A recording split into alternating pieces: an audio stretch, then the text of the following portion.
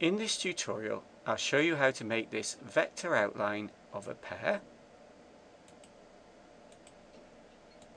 File, Import, go to the folder where you have your pear shape, select the file, Pear Solid, Open, Link or Embed Image, Embed, click OK, drag the pear into the center, click the Bezier Curves tool.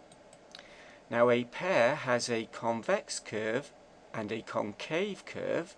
I'm going to place the first control point roughly where the curves meet.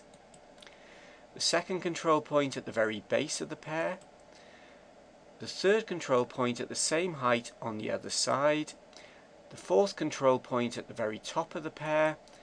Now when I hover over the original point it turns red.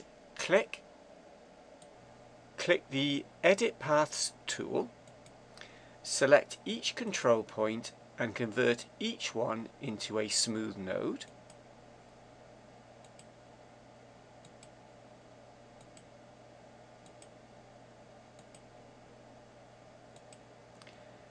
Move the handles of the top point in a tiny amount on both sides.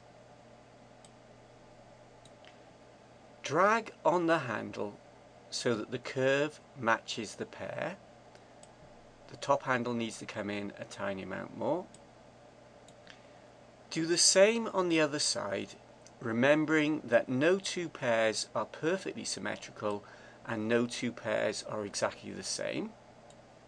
Drag to make the handle longer, trying to keep the angle of the handle the same.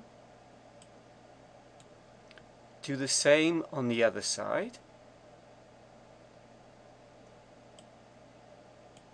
Click the select tool and drag the pear to the side.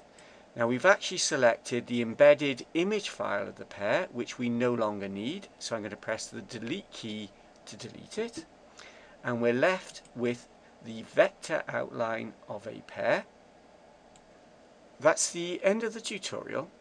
I'll put the pear image file and the finished vector outline file for you to download at my website www.freemovies.co.uk at the graphics channel there. Thanks for watching and goodbye.